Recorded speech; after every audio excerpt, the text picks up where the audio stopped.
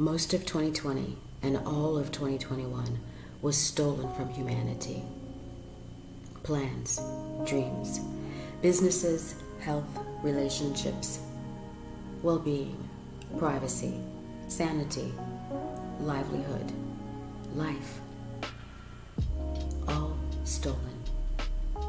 Stolen by extraordinary deceit and also stolen by extraordinary denial of that deceit. The last two years can't be retrieved, but they can be learned from.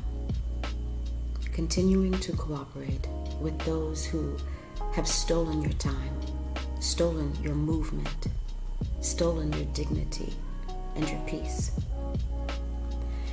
Continuing to cooperate with such filth will ensure the technocratic enslavement of this planet. Don't cooperate with evil. Reclaim your time. Reclaim your life. A lot of humans are waiting for someone to do something about all these unacceptable events. Too many don't realize that they themselves are the someone they've been waiting for. Sovereignty is waking up to your own innate power and wielding it in your life.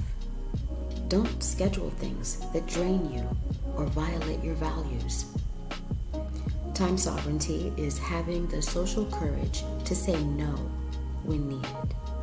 A lot of humanity is conditioned to be fake and insincere in exchange for social and material gain. That is exactly how so many are now ignoring the truth of their gut wisdom and internal sense of decency. Manage your time from a place of self respect rather than neediness or fear. Break from paths and people that aren't headed in your same direction of sanity and vitality. Calls, meetings, and all scheduled things are chances to enjoy and express the truth of who you are.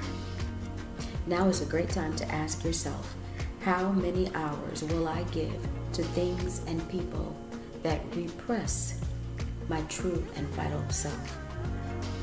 Commit to your own life path, and you won't fall prey to someone else's. 2022, according to you.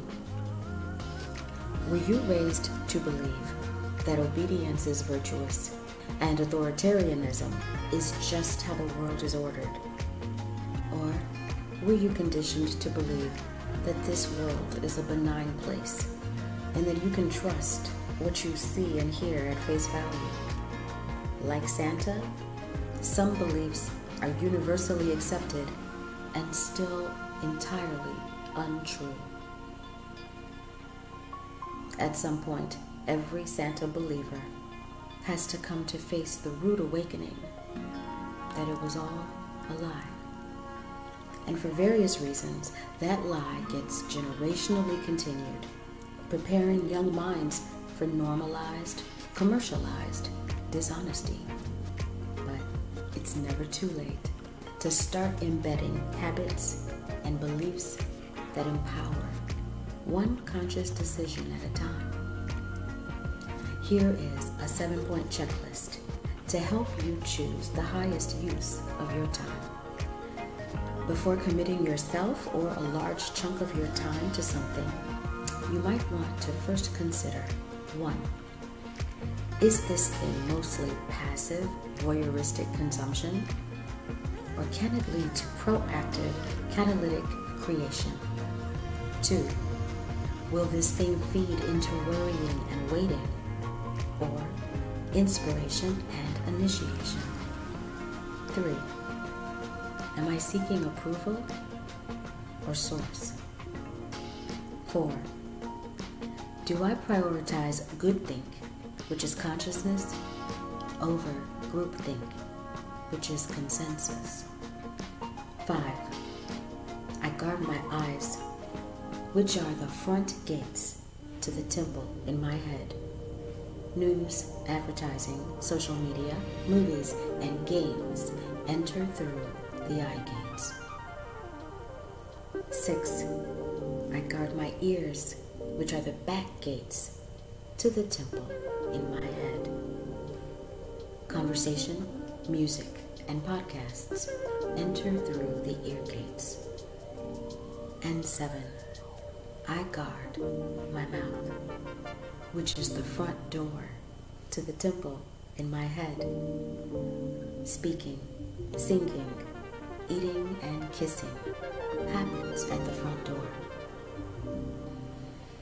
If we would be completely truthful with ourselves about what is good for us and what is good to us, everything would favorably change in the blink of an eye. 2022, according to.